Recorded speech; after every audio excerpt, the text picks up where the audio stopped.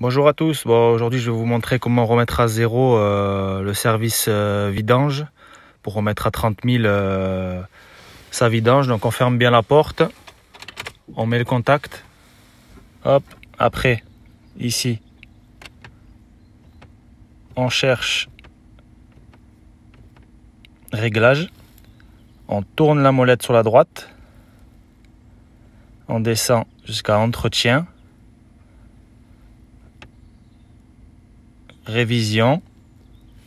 Là, vous ne rentrez pas, vous restez appuyé dessus. Vous restez appuyé sur révision. Hop. Vous descendez remise à zéro.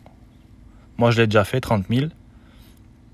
Vous restez appuyé sur remise à zéro.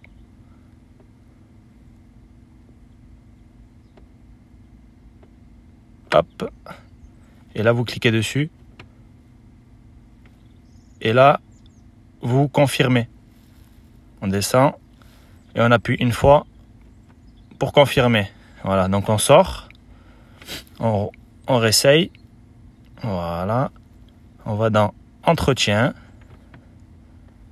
révision, et après on voit bien que c'est à 30 000. Vous allez voir, vous, si vous reste par exemple 0 ou quelques bornes, ça va se remettre à 30 000 km. Voilà, bonne journée.